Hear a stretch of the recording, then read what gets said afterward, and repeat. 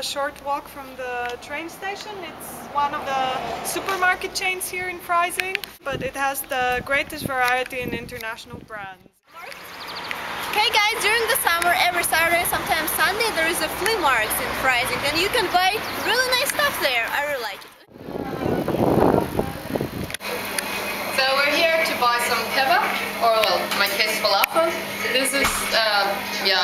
yeah, Munich, um, somehow in Freising, you can find a lot of uh, stores where you, you know, they're open all week long, so best place to eat if you don't have food at home.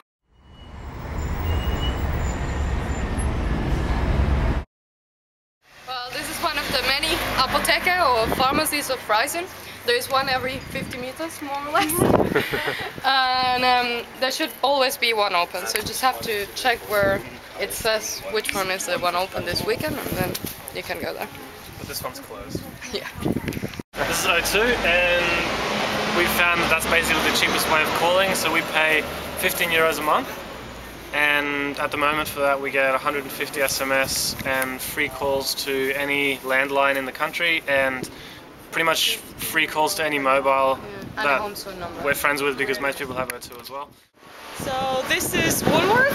You could get here uh, anything you want from pots, mixers, pans, socks, anything you can imagine really cheap. Okay, so this is Aldi.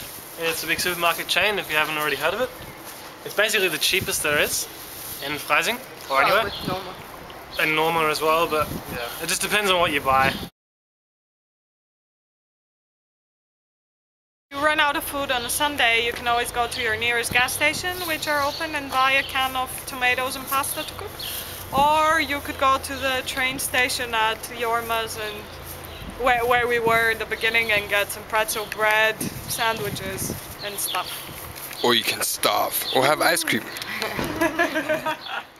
The Pacific Fish Market. It's uh, kind of easily to pass on seen, but it's um, Asian food market store, and uh, they you can find uh, platanos and yuca for the Latins and anything from Asia and uh, some African stuff as well. So if you're looking for something exotic, you know where to go.